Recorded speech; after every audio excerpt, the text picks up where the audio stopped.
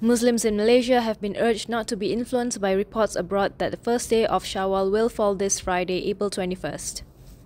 Deputy Perak Mufti Datuk Zamri Hashim said that in Malaysia, the decision on when the first of Shawwal takes place is based on the visibility of the Shawwal new moon, which will depend on the sighting set to take place on April 20th.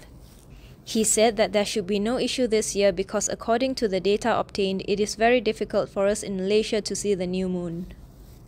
The date for the sighting of the new moon of Shawwal is set on Thursday, April 20th or the 29th of Ramadan at 29 locations nationwide.